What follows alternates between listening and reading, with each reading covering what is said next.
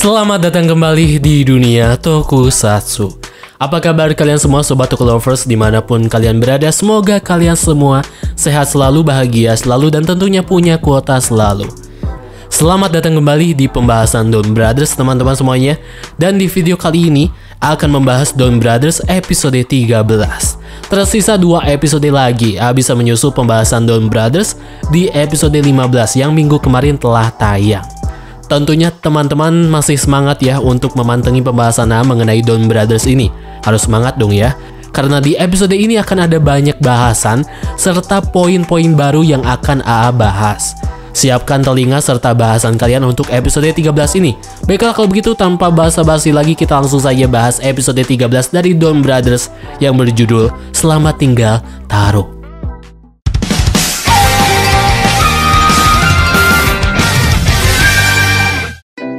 Episode 13 ini menurut A secara cerita sangatlah padat sekali. Ada banyak sekali poin-poin yang menurut A harus dibahas ya di video ini. Dan fokus cerita utama di episode 13 ini berfokus pada karakter Momoitaro. Semua misteri mengenai dia serta rivalitas dia dengan Sonoi diperlihatkan lebih dalam di episode ini. Di awal-awal episode 13 ini kita untuk kedua kalinya melihat diskusi dari Don Brothers mengenai siapa Noto serta tujuan sebenarnya dari Noto dan tak lupa di sini Master sedikit mempertanyakan user dari Inu Brothers. Jujur sangat suka sekali ketika Saruhara menyinggung bahwa tim Don Brothers ini harus sekali-kali berdiskusi dengan rekan Don Brothers lainnya. Menurut A ini sangatlah realistis karena kita tahu bahwa mereka ini mempunyai kesibukannya masing-masing. Jadi tidak seperti Super Sentai sebelumnya yang memang di setiap episodenya itu mereka selalu berkumpul dan berunding setiap saat. Momoitaro sangatlah teliti sekali bila A lihat. Dia bisa paham dengan pasti kekurangan member-member lainnya sendiri ketika bertarung. Sebagai ketua ini sangatlah masuk akal karena Momoitaro memang harus bisa menganalisis kekurangan kelebihan dari rekannya sendiri.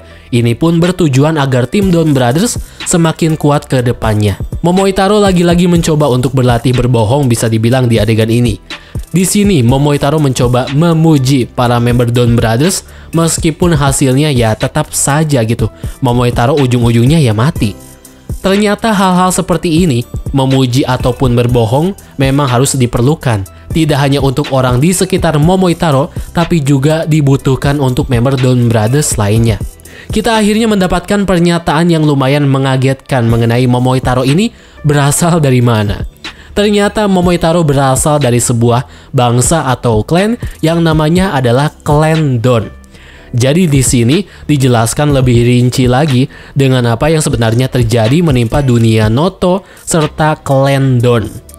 Akan bahas ini dengan cara berurutan biar kita paham apa yang sebenarnya terjadi di sini.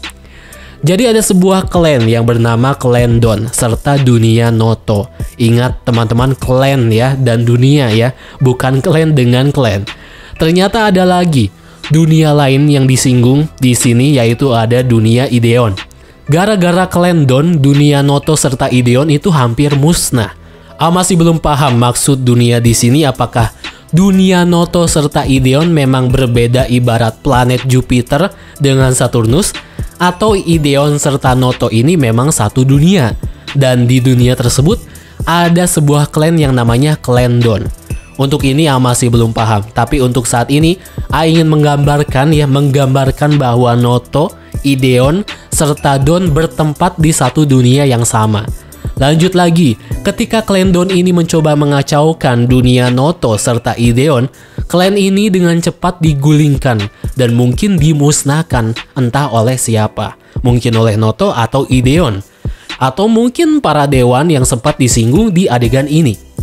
Ternyata Noto awalnya menduga bahwa klan ini sudah musnah, tapi ternyata tidak.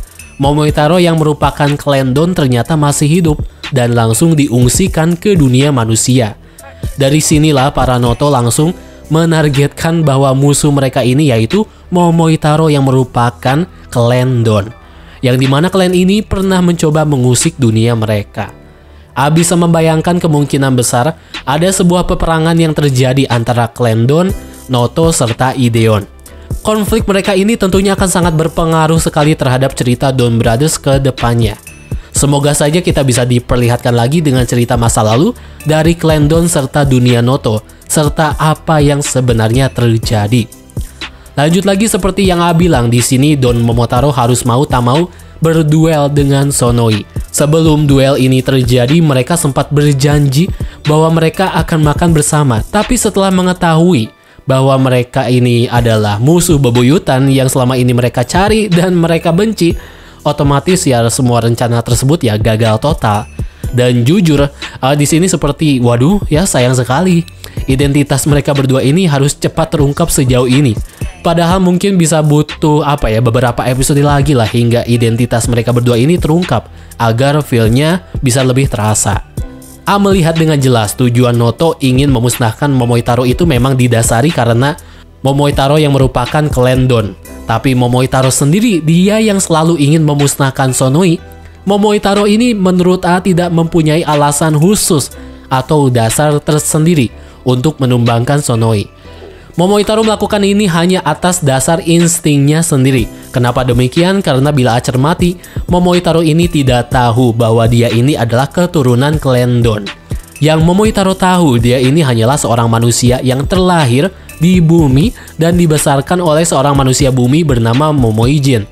Jadi sepertinya Momoitaro ini memang tidak diberitahu sepertinya bahwa dia ini keturunan serta tidak diberitahu dengan konflik-konflik yang terjadi menimpa Klendon serta dunia Noto.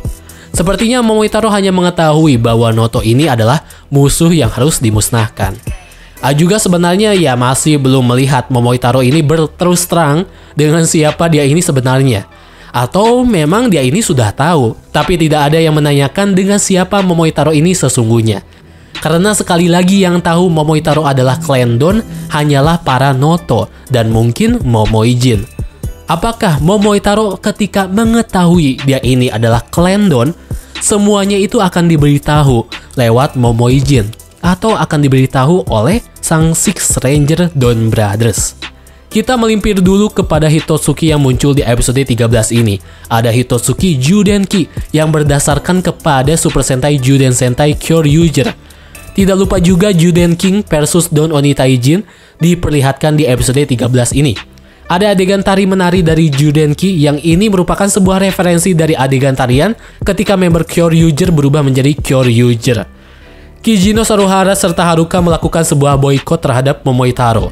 Maksudnya di sini, mereka bertiga tidak akan bertarung bersama Momoitaro hingga Momoitaro bisa menghargai rekan timnya sendiri. Itu pun juga demi kebaikan Don Brothers ke depannya. Tapi yang anehnya Saruhara yang merancang plan ini, tapi Saruhara juga yang menggagalkan rencana pemboikotan ini. Memang benar ya kata Momoitaro bahwa Saruhara ini terlalu arogan dan narsis dan tidak mau kalah pokoknya. Tapi ya ujung-ujungnya Saruhara Haruka serta Kijino membantu Momoitaro karena sudah tidak tahan Momoitaro disiksa secara bertubi-tubi oleh Noto. Dan yang paling lucu di adegan ini yaitu Inuzuka yang tidak tahu apa-apa mengenai pemboikotan ini. Karena lagi-lagi ya Inuzuka belum dekat ya dan tahu identitas dari member Don Brothers termasuk Momoitaro. Dan di episode 13 ini ditutup oleh sebuah tragedi yang tidak diduga-duga Don Momotaro Eke Momoitaro akhirnya telah dimusnahkan oleh Sonoi dengan tangan Sonoi sendiri. Kenapa ini bisa terjadi? Ini semua karena ulah kenaifan dan kepolosan Momoitaro sendiri, yang di mana Momoitaro secara terang-terangan memberitahu kelemahan dia kepada musuh bebuyutannya tersebut. Tentu sifat kejujuran Momoitaro menjadi sasaran empuk untuk dimanfaatkan oleh Sonoi. Alhasil, di episode 13 ini, Momoitaro bisa disimpulkan musnah atau menghilang oleh Sonoi. Jadi itulah dia pembahasan dari episode 13 Don Brothers. Episode yang sangatlah seru sekali menurut saya. Terlebih episode 13 ini banyak hal atau misteri yang telah diungkap dengan siapakah Momohitaro serta konflik-konflik apa yang pernah terjadi menimpa Klendon serta dunia Noto. Meskipun hal ini masih belum dijelaskan lebih lanjut, kita tentunya akan menunggu dengan apa yang sebenarnya terjadi menimpa Kelendon, Ideon, serta dunia Noto. Bila kalian punya koreksi atau tambahan yang mungkin terlewatkan, silahkan tambahkan saja di kolom komentar di bawah. Terima kasih bagi teman-teman yang telah menonton pembahasan video ini dari awal sampai akhir. Bila kalian punya tambahan, saran, atau apa pun yang A terlewatkan, silahkan tambahkan saja di kolom komentar di bawah. Dan mohon maaf apabila ada kesalahan ketika A membahas video kali ini ya. Baiklah mungkin itu saja teman-teman pembahasan video kali ini. Terima kasih yang sudah menonton. Kalau begitu A pamit undur diri. Terima kasih dan sampai jumpa. Thank you.